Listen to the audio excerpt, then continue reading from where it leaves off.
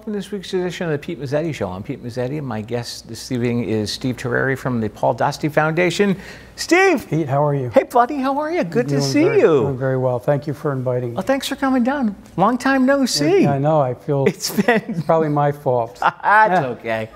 That's okay. So, Steve, tell us a little bit about yourself and how long you've been involved with the foundation. Uh, well, that's a that's a uh, you've got couple hours. I can tell you. I do. Uh, No, I'm just. Um, well, um, my name is Steve Terreri, and I'm a family member of Paul Dostie. Um, he's my brother-in-law, Okay. um, and I've you know been I've known I knew him for decades. Right. You know, since I've, I've been married for 43 years and um, known Paul ever since I first started dating my wife. Okay. and he started dating uh, my wife's sister. So Ah. we go back a long, long way. Okay. A lot of family functions, very close family. Um, uh, so we have a lot, lot in, lot in common that way. Okay. What type of guy was what? What was Paul like? What type of guy was he like? He, if you looked at him, he uh, could have been a GQ model. um, he should have been a tight end for the New England Patriots. okay. Um, uh, he ends up, ended up being an auto mechanic, a, um, a transmission specialist. If you talk to the uh, garages around the shoreline, they'd say he was a master mechanic when it came to uh, transmissions. Okay. So, and he was um, a very uh, ca- caring, kind, fair guy. yeah. Uh, and I, I started working with him in his business about 10 years ago to help him with the business side of things. Okay. And I, I used to tell him all the time, you got to stop giving this away for nothing. Yeah. Right. because you know you got to earn a living. So he he uh, he was. That's why when we when he passed and we started thinking about him and how we were going to keep his memory alive, we thought we thought about the word kindness, and that's where this uh, care came from. Kindness always rewards everyone. It was something that kind of reminded us of Paul. Okay. He's a really nice, really kind guy. Now tell us about the foundation. The foundation, we've been in existence for just about three years. Okay. Uh, Paul, Paul will be, Paul passed away uh, May 25th, 2021, so we're coming up on three years. And like I said a second ago, we were trying to think of something to kind of keep his memory alive because before he passed away, we did a fundraiser at Thimble Island Brewery and it was jam packed with people, including Senator Blumenthal. And then when he passed, there was thousand, you know, well over a thousand. We think maybe 1,200 people came to his wake. Wow. So we, we said, you know, how do we keep this this uh, alive? So we came up with the idea of uh, of a foundation with um, myself and his older sister Linda, his wife Jeannie, and his brother Paul. Four of us formed the board. And what we wanted to do is uh, raise money and make uh, uh, financial uh, contributions to families that are struggling um, because of their disease. They're financially struggling because of their disease. And we started out by giving like smaller grants, and then we decided that we wanted to, to make a difference in their life. Okay. And so we came up with a, you know, a, a, the idea of giving a $5,000 grant every month. We give one $5,000, at least one $5,000 grant every month to a family that's really, you know, in need. Wow. Yeah. And we focus on we focus on brain tumor because of Paul. And we also fo- focus on another disease called HCM, which is a disease his daughter, his one of his twin daughters has. Um, and we've helped a lot of GBM and HCM uh, families since since inception. What is HCM? Hypertrophic cardiomyopathy, which is a, uh, a, a congenital heart defect. Uh, and his daughter Allie's had, I think, I want to say eight open heart surgeries since she was a baby. Oh wow. And she's um, right now being evaluated for a heart transplant. So some of the folks that we've supported uh, through our foundation uh, ultimately got uh, heart transplants. Um, a couple, actually one woman that's about Allie's age is actually coming to CareFest this year. Really? Yeah. Now, is there a donor list that people can go on to help Allie? Uh, we haven't really done that. Okay. Uh, you know, she's she's in good shape. She's got. Oh, good, is she? Yeah, she's got good finance, good insurance, and all that. Oh, So okay. we, we, you know, so we, we don't need to go that route. No, we don't need to. We, need to you know, she'd rather you, she'd rather you give money to the Kare Foundation that Yeah, we can, right. we, that we can spend in the way I described. Right. Speaking of the Kare Foundation, I understand you guys have an event coming up. Right. Let's talk about it. Let's do it. Um, so, um, well, actually, I'll, I'll, I'll give you this uh, Yeah. little T-shirt that Oh, we thank you. have available for our our Kare Foundation Care Fest. All right. Um, but we you. we have, we our primary funding uh, event is called Care Fest, okay. and it's um, it happens every year in June. This will be our third annual uh, event. Hold that up for the camera. There you go. See if we can get a little picture of that. tight shot of that. Let's see. That uh, you've, you've, I've already talked about the acronym. Yep. The little heart with the, um, uh, the with the smile on it was the way Paul would um, leave notes to his girls, and he'd make that heart. So Really? yeah, that's his that's his thing that we're trying to trademark, by the way. Cool. nice. There you go. So anyway, CareFest is June fifteenth. All right. Uh, we this is our third annual event. Um, this year we'll have um, uh, five bands, um, um, Thimble Island Beer, uh, uh, Margarita Tent, um, uh, Silent Auction, um, and you know, the, and most of the bands are paying, playing for free. Oh, really? And, and it's uh, uh, several local bands, and then our headliner is a, a, a Spring, Bruce Springsteen tribute band. I saw that on your website. Yeah, Alex Shiloh and and his tribute to Bruce Springsteen. He's excellent, Is he? I was Yeah. going to say they they're pretty good. really good. Yeah. So we're we're promoting it pretty heavy right now. Now, as far as the event goes in June, when, where, and what time? It's uh, June fifteenth. Uh, uh, gates open at three. Okay. We'll be playing till ten o'clock um, at the Guilford Fairgrounds in Guilford, Connecticut. Okay. And is there an admission fee to get in? Uh, yes, uh, twenty-five dollar uh, uh, twenty-five dollars for the tickets to get in. Cool. Yeah, it's pretty reasonable for what you're going to get. It's going to be a good, really good time. Now, how did you guys come up with the idea of the event? Uh, I think the, I think the idea initially was, you know, when Paul was sick, he would he'd always say to us, um, "Don't worry, Steve, I got this. You know, I'm going to get over this." Had a big smile on his face up until the you know he day, day passed, and he kept saying to us, "You know, when this is all done, we're going to have a big party." So initially, I think we kind of said, "You know what? Let's throw a party for Paul." and that's where I think the Care Fest came from. So now every year we throw a big party, and Yeah. you know we get all kinds of folks helping us, and and we always look up to the sky and say, Paul, your only job is to give us a nice sunny day, so we you know have a have a rainy day." Exactly. We don't want to do this in the rain. No, No. but you know we will do it if it rains. It'll, it's rain or shine. exactly. But it's probably going to be a lot more fun in the sun. It would be a rather, lot. rather than the rain. It would be a lot more fun in the sun. Now, what other events or fundraisers do you guys do, or is, it, or is this the biggie for the year? Well, we've done some uh, direct mail uh, um, uh, funding uh, solicitation. We've done, we're doing some work on social media, but we also have a golf tournament that's coming up in, um, I believe it's in um, August 23rd at the um, Portland Golf Course Oh, okay. in Portland, Connecticut. So All we we did that last year, and that was that was successful, and we, we raised some funds that way. And we and we do um, like uh, you know May is Brain Cancer Awareness Month, and we'll we'll be doing a you know an email campaign and a, a, Oh. um, social media campaign to kind of put the focus on potentially supporting our foundation and making donations for the month month of uh, May. And Paul's, uh, as- I mentioned, Paul passed away in um, in May as well. So we're going to uh, get something cooking on on social media. Now, where can people find you on social media? We we can. Uh, I think I think they have the um, the links. I Do we think, have the link? I think We they do. Have, I think they have them. They can. Yeah, them. got the Facebook link and the Instagram link, I believe. Yeah. And then our, our website is uh, pdkare, P-D-K-A-R-E, uh, dot org. That's our Okay. website. You can get to everything fro- through our website.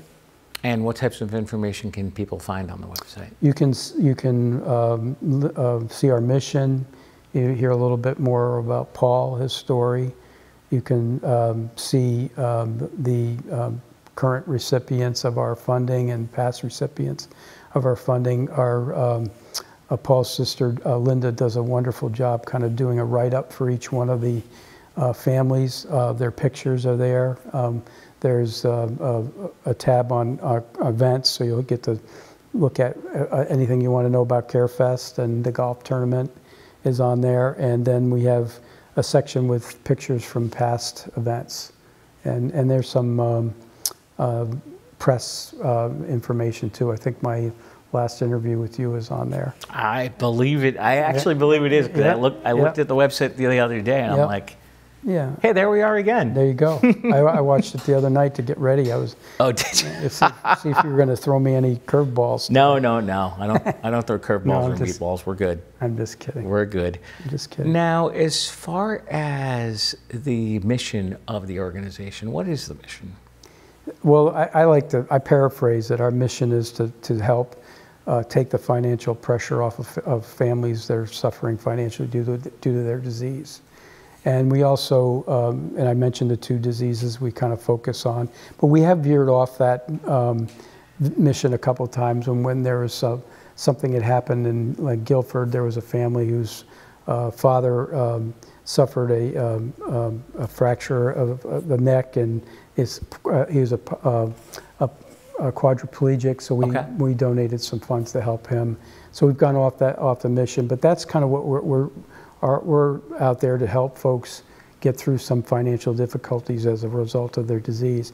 The other thing we do is um, Paul was notorious for uh, finding this uh, backyard mechanic uh, kid that was fixing lawnmowers and their father's car and you know souping up a go-kart. He would he would pull that kid into uh, the automotive tech world. Right. And so what we do uh, once a year, we try to find a kid that would satisfy that Paul Dostie backyard mechanic um, criteria, and we give them a grant uh, either to go to a Votech school, right. or if they didn't want to do that, um, they needed money to buy a toolbox and some tools. Right. Uh, we've helped to, we've helped several folks um, in, since we since inception. I think this year we're going to give out two scholarships. oh, really? Yeah, to two uh, backyard mechanics. And if people want information on the backyard mechanic program, they obviously can go on the website. It's all there. Yeah. It's, all, it's all there? Yeah, it's all there. Now, what are some of the criterias for the backyard mechanic scholarship? That's a great question. I think I think they're very they're a rare breed. Okay. Uh, so it's sometimes it's hard to find them, and right. so what we uh, have, have, done is uh, contacted some of the schools that have a um, you know a, a Votech kind of um, bent and ask them to, to, you know, let us know if, you know, if you know anyone that fits that criteria. I think, you know, and it's, it's sometimes it's a, it's crazy, like word of mouth kind of things. Right. The two that we have now, um, uh, a, we're a word of mouth kind of thing that somebody in the neighborhood said, hey, this kid, this kid's a, a, a mechanic and he does work in the in the driveway. Right. And we kind of connected with him, and then we said, okay, he's he, he fits the mold. He wants to be a mechanic. I think that's the criteria. If, if, it, if, if we can interview the person and we kind of feel like they definitely want to become a mechanic, they, mm-hmm. this is what they've chosen to do, um, then we, we might, uh, you know, give them a grant. Would you mind sticking around for another segment? Sure. All right, we'll be right back. Connecticut has lost 35 million in gross earnings taxes because cable TV providers are losing customers. Yet cable companies continue to enjoy a tax exemption on their equipment that their telecom competitors don't get. At the same time, the telecoms don't pay gross earnings tax. This, this doesn't, doesn't, make, make sense. sense. It's time to level the playing field. Make everyone pay their fair share. Please support sustainable funding for digital equity, community access, and the CTN network.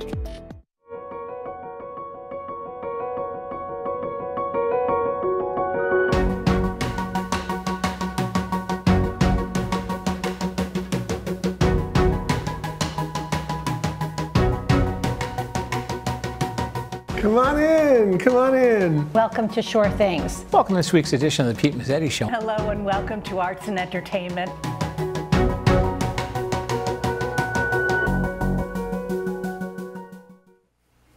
Welcome back to this week's edition of the Pete Mezzetti Show. I'm Pete Mezzetti, sitting here with Steve Terreri from the Paul Dostie Kare Foundation. Sir, welcome back. Thank you for having you me. You got it. Thank you. So, Steve, we were talking a little bit during the break about the different types of cancers and diseases that the foundation helps. Maybe we can open up this segment talking a little bit in more detail about those. Yeah, I think that the uh, I think when we started out, um, I think because Paul passed from glioblastoma, we focused our, our efforts in the glio, on glioblastoma, okay. GBM, and um, you know it's a deadly disease. Um, I think the uh, I, am not a physician, so That's I think okay. the median survival is like 14. I think it's like 14 months from diagnosis. Oh wow! Um, and Paul um, um, lived 19 months, uh, okay. so he lived a little longer than uh, normal. And you know, uh, you try everything you can think of to try mm-hmm. to help them. Right? I took him to, the, we took him to the Dana Farber, uh, we took him to Ma- uh, Memorial Sloan Kettering, and then we took him down to Duke uh, and saw and saw Dr. Friedman, okay. who's a, a, a world-renowned brain tumor specialist and uh, we, we got him in a clinical trial. Right. Um, so he was in a clinical trial for a while, uh, then fell out of the trial, and then um, um, you know kind of went downhill pretty quickly. Oh boy. And that's that happens, you know, to a lot of the folks. And I think the thing uh, I like to talk about is that. Um, when I when people ask me what we do, I, I, I don't often say we support the patient. I always say I try to say we support the family. Right. Because the patient, you know, and unfortunately with GBM, um, doesn't uh, usually survive, but the family does. Right. And sometimes the families made tremendous sacrifices to uh, to try to uh, get care for their for their uh, loved one. Mm-hmm. You know, they might have been not been able to go to work, um, and you know not not be able to make a mortgage payment or or, uh, or other financial commitments that they have. So we kind of think about the family as well as the patient. So, uh, so that's GBM. Um, and that's really, I mean, in terms of cancers, um, we've, I think the only other one that we supported was a, a patient uh, with colorectal cancer that had a GBM connection. Um, one of the bands that played uh, in, in CareFest last year, um, uh, one of the guitarists lost his wife uh, to GBM. And then right after CareFest, he was diagnosed with colorectal cancer and, and oh, couldn't boy. work for months. And so we, we made a grant to him to help him get through um, his, um, his situation. And then I, the, I guess another story I can tell is um, we made a connection with the Dana-Farber Cancer Institute. Sure. And we've, had, we've supported a couple patients that came to us through the, through the Dana-Farber. And I, in my day job, I work in the uh, bone marrow transplant world. And uh, one of the bone marrow transplanters um, contacted me and said, "Hey, I've got this family. Uh, the mother's got ovarian cancer, uh, and three of his, uh, three of the of her daughters are sick with a neurological um, uh, cancer." And one passed after a bone marrow transplant, oh and and the two others are are just hanging on and they had no really no money and they were about to be homeless. Oh no! So that was that was a, a, a, grant that was easy, an easy board decision to make. Yeah, exactly. So we we supported that family and got them off the street. Um, I'm trying. I'm trying to think um, of some other story. I could tell you some other stories. Sure, go for it. Um, I think I think I mentioned to you that you know in addition to GBM we focus on HCM, and uh, we've we supported a, a, a young lady who um, needed a heart transplant, was in financial uh, distress, mm-hmm. and she received her transplant, and uh, she's roughly the same age as one of Paul's daughters.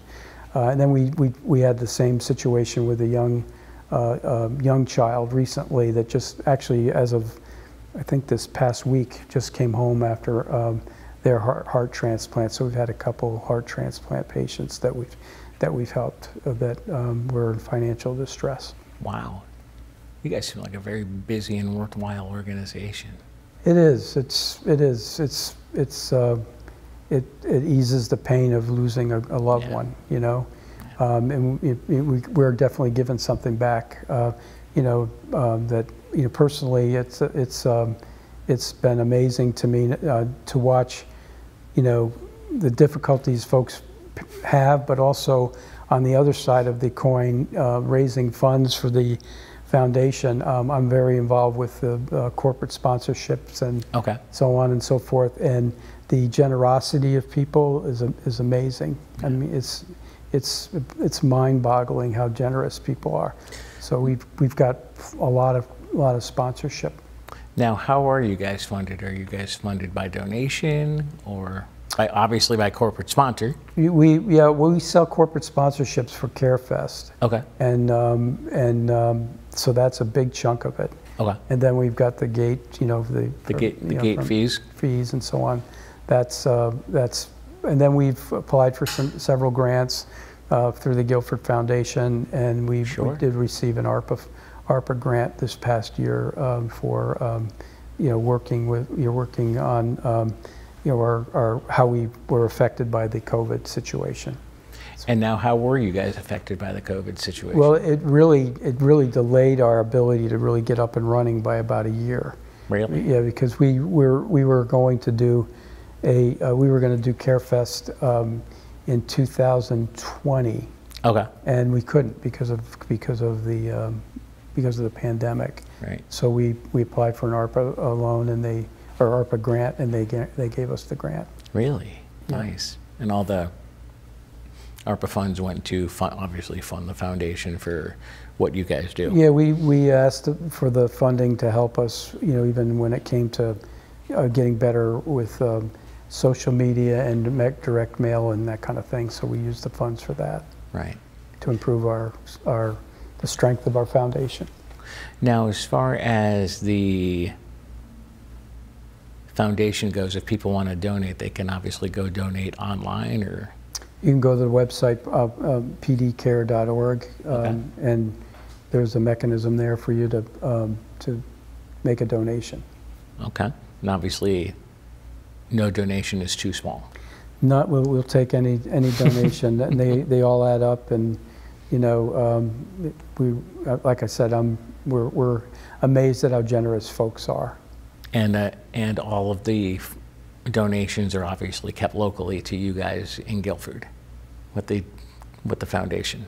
Say that again, I'm sorry? All of the money is kept local. Y- Yeah, well, yeah, we've, and yeah, I guess in a way. Okay. I, I mean, we've we've um, we've made grants to uh, folks all over the country. Not Oh, okay. Just, not not just most of them. I say we're, we're in the Connecticut area. Okay. But we've we've made one um, um, in uh, recently in Pittsburgh. We've made them down in some of the southern states. We've you know when we, we get we get.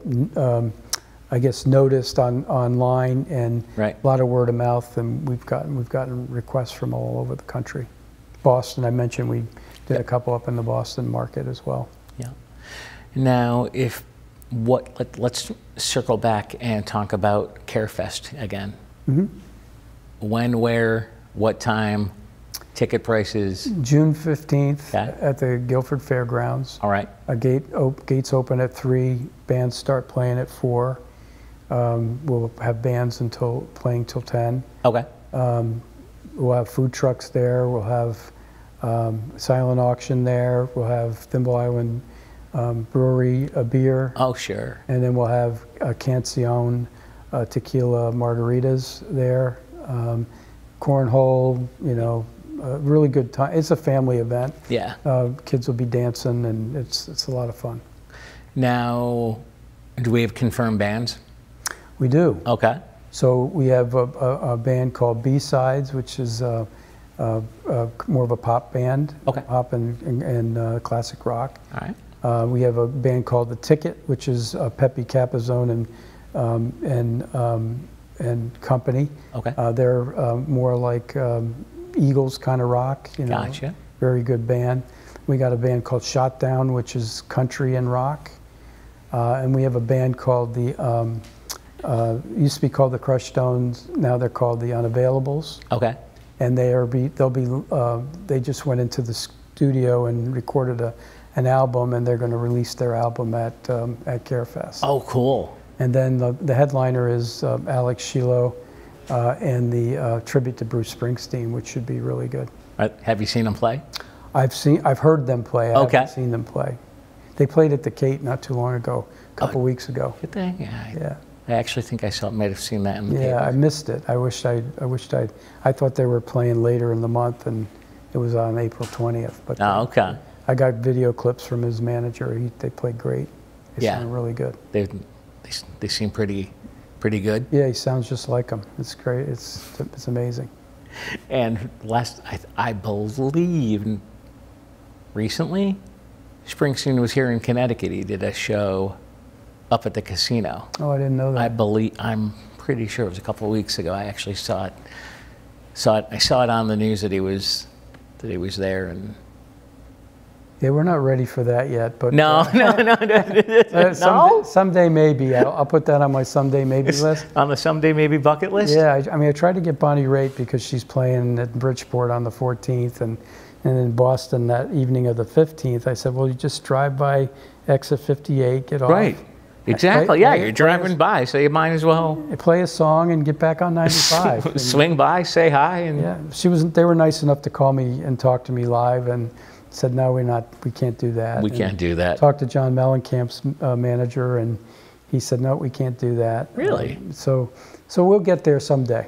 Yeah. It's a, it's a, you know, it's a sizable expense for a, you know, small Oh. uh, startup foundation Yeah, it's to, not to, cheap. to do that. So we'll, we'll get there someday. Cool. Steve Terreri from the Paul Dostie Foundation. We're out of time. We'll see you soon. Thank you, sir. Thank you, sir. On behalf of Steve, I'm Pete Mezzetti. Thanks. Good night, and we'll see you next time.